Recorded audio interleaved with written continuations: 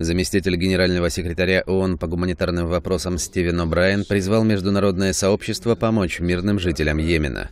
Там уже более двух с половиной лет идет гражданская война, и миллионам людей угрожает голод.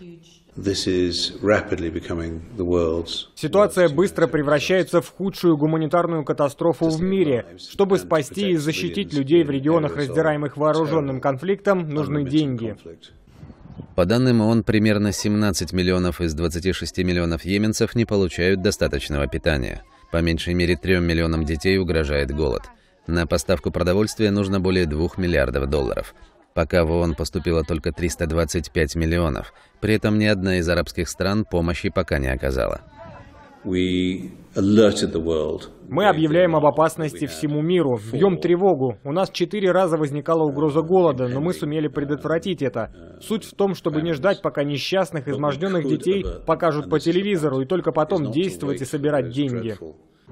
Международное агентство помощи Оксфам также призывает страны активнее помогать голодающим и не поставлять оружие участникам вооруженных конфликтов.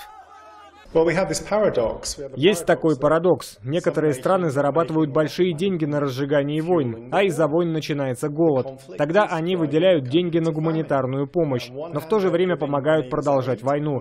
Вот такой парадокс. Это надо остановить. До войны Йемен импортировал 90% продуктов питания. Теперь импорт ограничен. Сильно пострадала и экономика страны в целом. Миллионы йеменцев оказались за чертой бедности. По меньшей мере 10 тысяч человек погибли из-за военных действий. Как помочь голодающим будут решать на донорской конференции по Йемену на высшем уровне. Она состоится 25 апреля.